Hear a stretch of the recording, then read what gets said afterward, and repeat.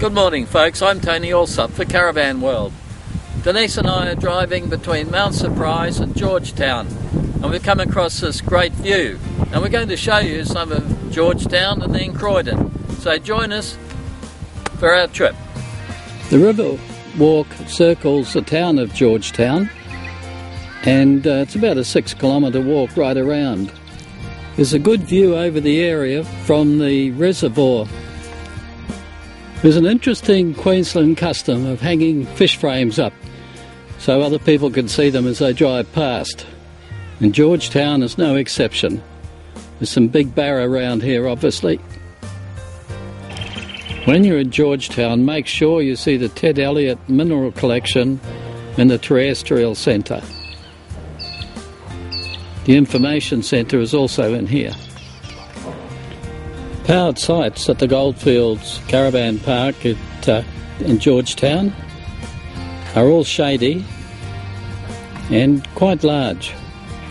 There's a family of four tawny frogmouths here above our caravan at Georgetown. There's one of them here, and the others have just disappeared for a while. If you stay in the Goldfields Caravan Park here at, at Georgetown, you have free entry into their swimming pool. Beside the swimming pool in Georgetown, you have these beautiful gardens. Great place to stop for lunch or uh, just pull the caravan in. Plenty of parking here. Free barbecues. Blue-faced honey eaters are all around the place here. Just have a look at these. We have the usual galahs here at Georgetown as well. We're heading into uh, Flat Creek Station, Fossicking area, and this is typical of the country around here in Georgetown.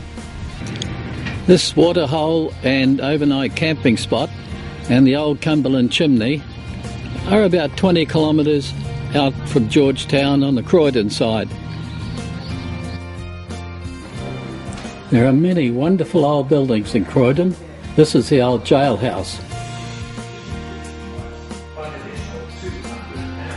This is the courthouse. Just some more magnificent old buildings in Croydon. I'm really intrigued by these gas lanterns. Every town has its old hotel, and this is Croydon's.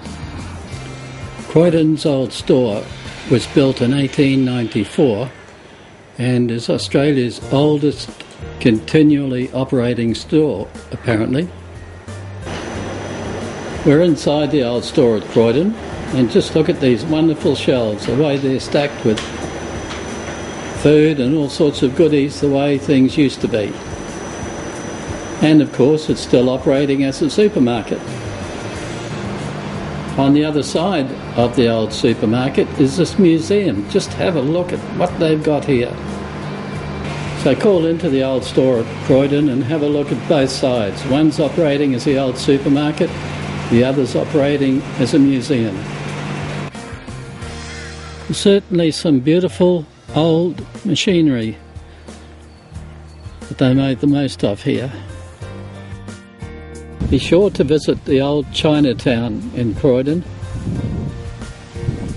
All the sites in Chinatown are signposted and as you can see there's remains of the buildings and so on behind them.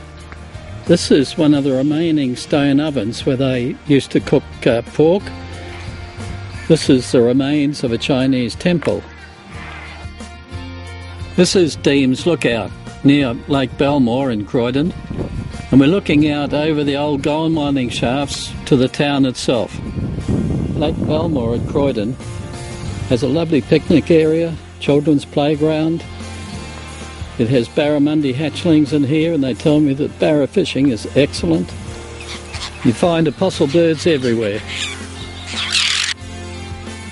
Just one kilometre out of Croydon on the way to Normanton, there's a turn off on the right, not well signposted, to this old mining area. There's a heap of old machinery here. Just come in and have a look if you're interested in this this history of Croydon. It's a matter of choose your own site at the Croydon Caravan Park. They have slabs such as we have here, or grass. Power and water are laid on close to the site. In the Croydon Caravan Park, there's a. There's actually three bowers we've found, and this is probably the best of them.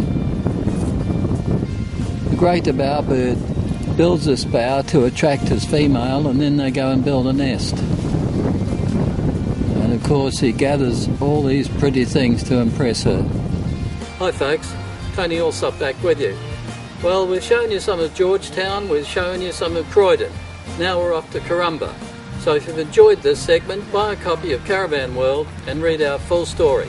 So from Denise and I, bye from Croydon.